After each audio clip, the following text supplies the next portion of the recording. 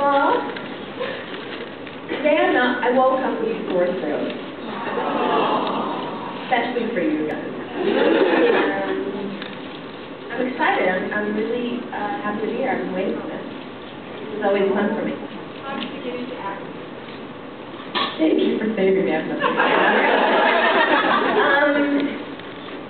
I got into acting when I was six years old. My mom was a second AD.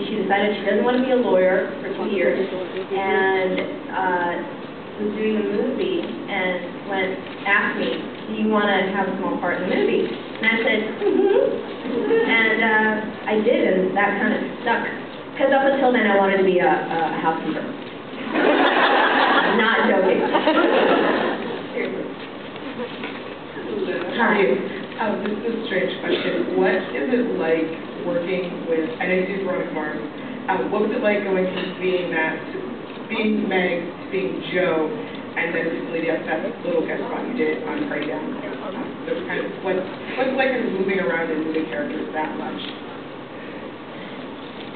It's quite possibly the ultimate thing you could ask for as an actor, because if you get, the one thing I hate is typecast, because we are multifaceted as people, and I hate it when people put you in this one bracket and don't let you venture out of it.